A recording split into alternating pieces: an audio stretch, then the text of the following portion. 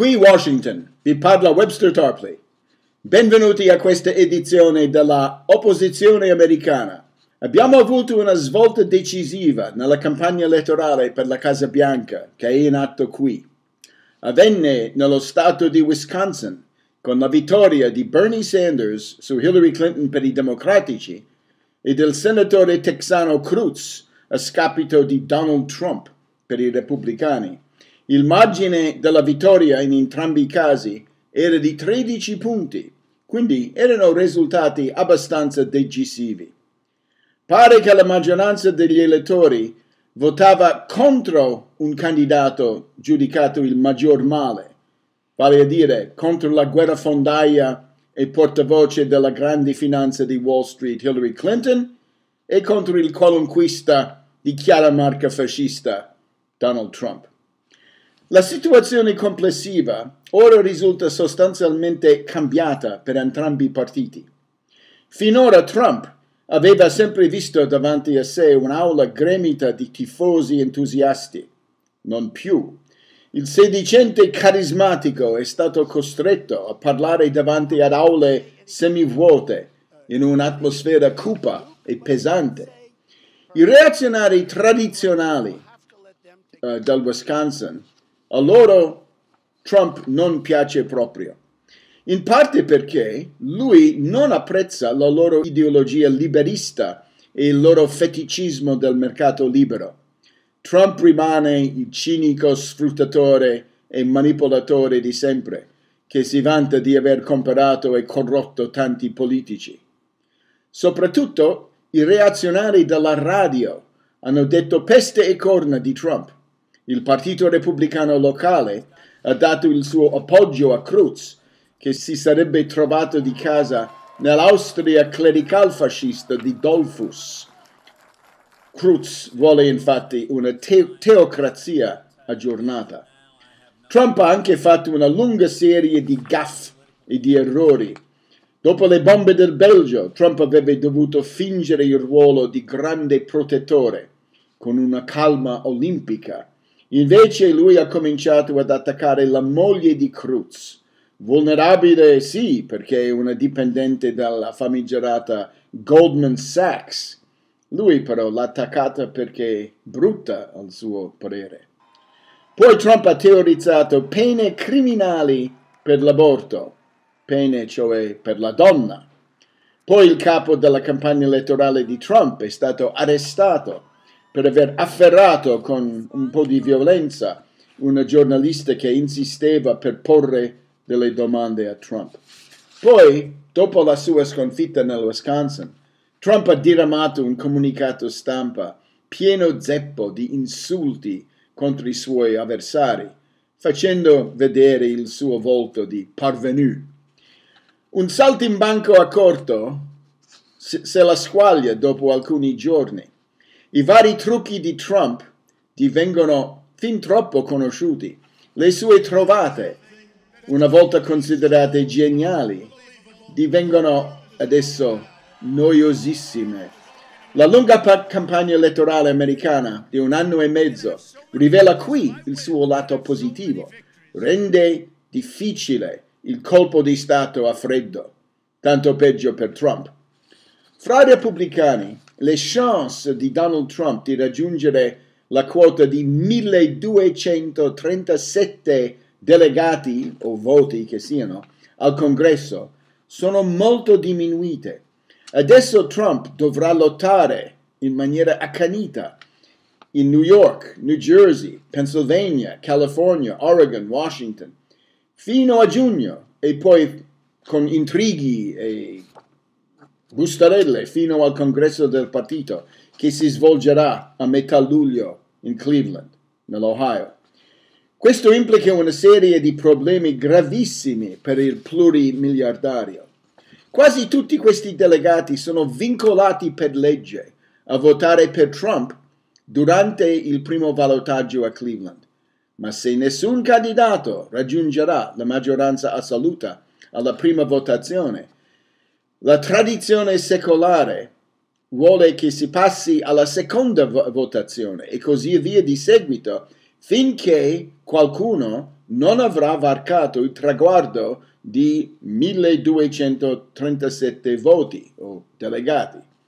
Qui Trump non è d'accordo. Lui dice che bisogna dare la, la nomination a lui dopo la prima votazione, uh, in, cui lui avrà probabilmente la maggioranza relativa, la cosiddetta pluralità, ma non la maggioranza assoluta normalmente richiesta.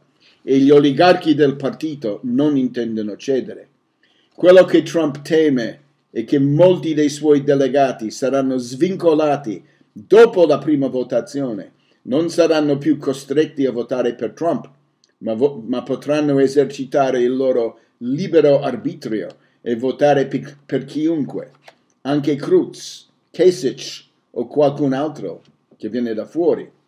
Trump va avanti con le sue solite minacce. Un suo grande sostenitore mercenario è il famigerato Roger Stone, uno sperimentato provocatore e tirapiedi che lavora adesso per Trump. Roger Stone si dà da fare per intimidire questi delegati. Ha annunciato che lui conoscerà, lui saprà e renderà pubblico i nomi dei delegati ribelli o non leali a Trump, assieme ai numeri delle loro camere d'albergo. Stone già invita gli attivisti più pazzoidi favorevoli a Trump a recarsi a Cleveland per le sommosse. È una minaccia pesante di vessazioni o magari di peggio. Gli avversari di Trump adesso vogliono escludere Roger Stone dal congresso. Magari auguriamoci che siano le prime crepe della scissione, della spaccatura di questo mostruoso edificio repubblicano. Ormai due sono le possibilità. Trump potrebbe aggiudicarsi la nomination e diventare candidato presidenziale ufficiale del GOP.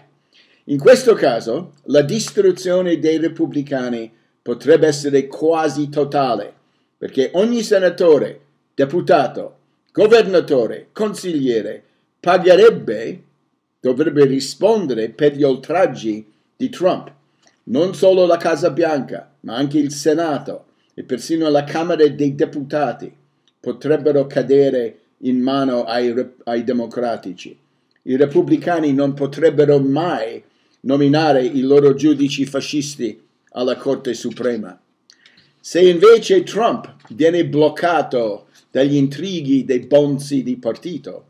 Lui dovrebbe uscirne e lanciare un terzo partito, un po' per pigliare vendetta e un po' per far concorrenza ai repubblicani. Magari i danni per questi ultimi sarebbero tremendi, ma il Partito Repubblicano potrebbe forse formalmente sopravvivere.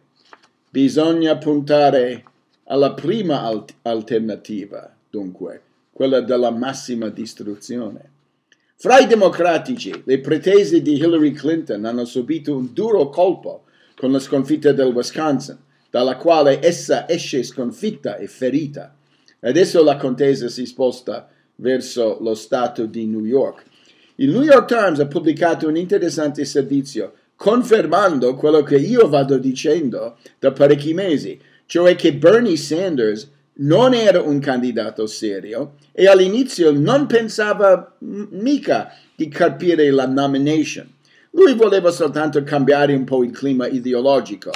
Questa mi sembra una logica poco onesta per chiedere i contributi del popolo minuto che fanno sacrifici per lui.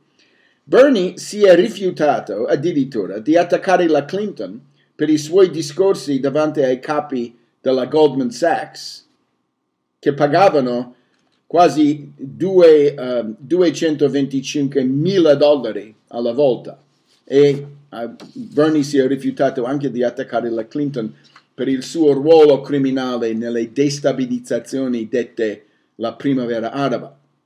Ma adesso i nervi della Clinton, minacciata dall'incriminazione, come abbiamo visto l'ultima volta, i nervi della Clinton non reggono più e lei dice che Bernie non ha i numeri per essere presidente. Il burbero Bernie risponde picche. Lui invita la Clinton a chiedere scusa ai, alle famiglie dei morti della guerra dell'Iraq, quando lei votò a, a favore dell'attacco uh, chiesto da Bush. E la Clinton chiedesse anche scusa ai milioni di famiglie impoverite colpite dalla disoccupazione provocata dagli accordi di libero scambio caldeggiati anche in questo caso dalla Clinton. Possibile che Bernie pensa addirittura di combattere? Di vincere? Sarebbe una grande novità e potrebbe anche aiutarlo ad andare alla Casa Bianca. Sulla serietà di Bernie sapremo molto di più giovedì prossimo, quando si terrà il dibattito, il primo dibattito da un pezzo.